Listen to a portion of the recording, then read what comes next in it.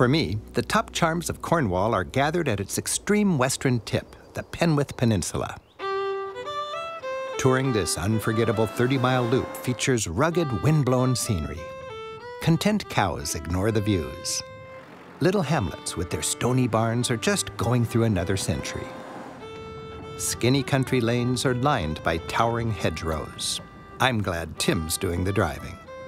You can hear the branches scraping both sides of the car at the same time. The winding hedgerows built before motor traffic are an icon of Cornwall. While they may look soft, they're hard as rock. These date back to medieval times when farmers cleaned up their fields by stacking rocks to make walls lining the lanes. They have a stone frame, are filled with earth, and then are overgrown with vegetation. Those who get out of the car and hike are richly rewarded. Walking all or even part of the Southwest Coast Path, you'll enjoy memorable moments around every corner. This coastline had more than its share of unscrupulous trade. There were pirates, mostly state-sanctioned buccaneers, plundering the coast of France and French shipping. And there were smugglers, dealing in highly taxed contraband, like spices and booze. Tough little Lamorna Cove was a favorite for smugglers.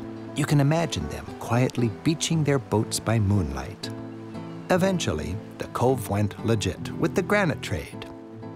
Imagine the work involved in quarrying and then shipping slabs of granite from this tiny bay. The massive embankment of the River Thames back in London didn't just happen.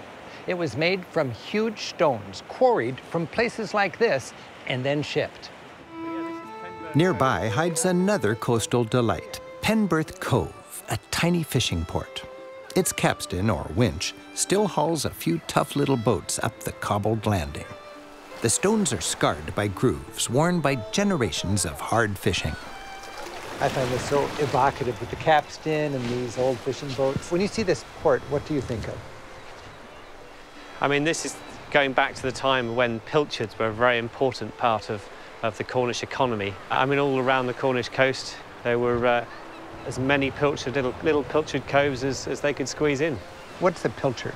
Well, pilchard's a large sardine. Okay, why are they important? They were a huge part of the diet of the Cornish people and a big part of the economy of Cornwall for centuries. Whether you were a farmer, a fisherman, or a miner, it was a, a big part of your diet, how you survived the winter.